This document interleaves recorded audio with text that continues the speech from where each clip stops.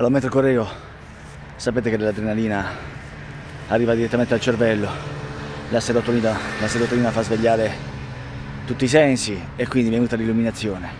Oggi vedremo cosa fare in caso qualcuno ti additi, qualcuno ti attacchi in pubblico. Sei pronto?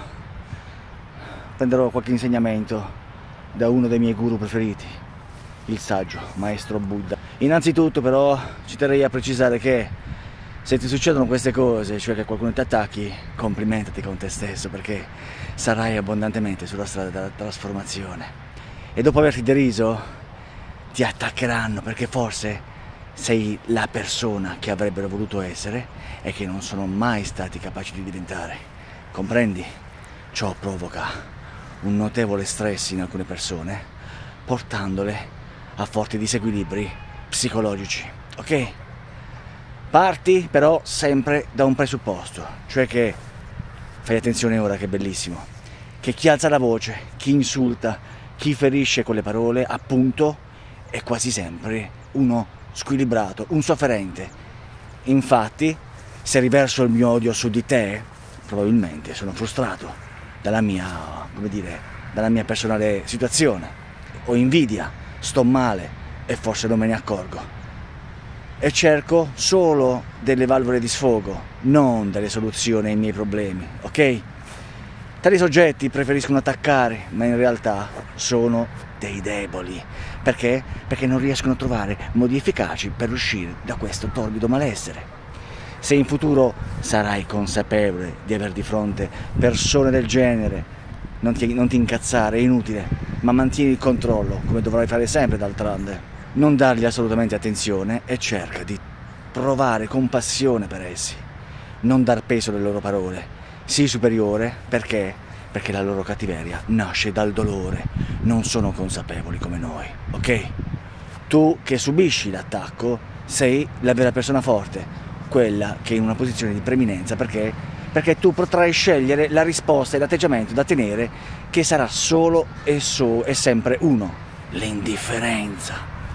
Solo così, intrinsecamente, non accettando il suo odio, lo stai perdonando, per cui non dargli alcuna importanza e vai avanti per la tua strada.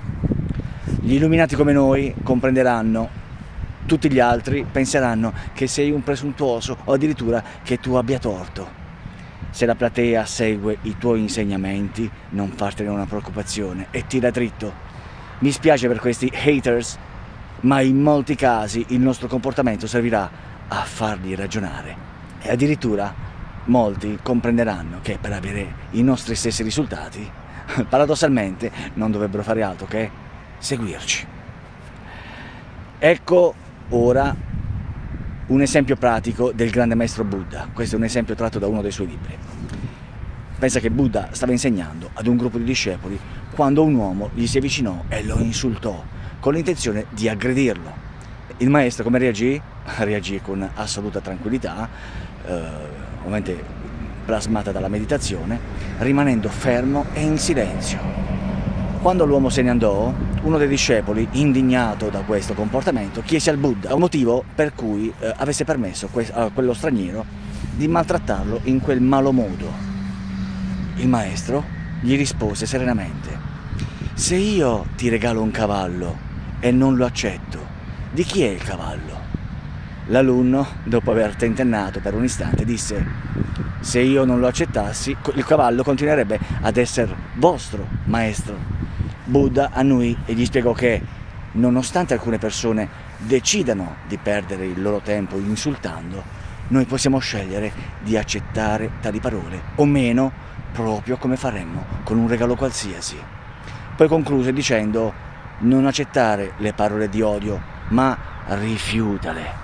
Solo in questo modo colui che ti odia rimarrà con l'insulto tra le mani. Non puoi dare la colpa a chi ti offende o a chi ti fa male, perché è tua la decisione di accettare le sue parole invece di lasciarle sulle sue stesse labbra da cui sono uscite. Se ti è piaciuto questo video iscriviti al nostro canale perché solo così con, cliccando sulla campanellina potrai avere i nuovi contenuti. Non mi rimane che dirti work hard e da oggi work hard e smart, quindi non lavorare solo duro ma anche in maniera intelligente. Un grande abbraccio da Tony e alla prossima.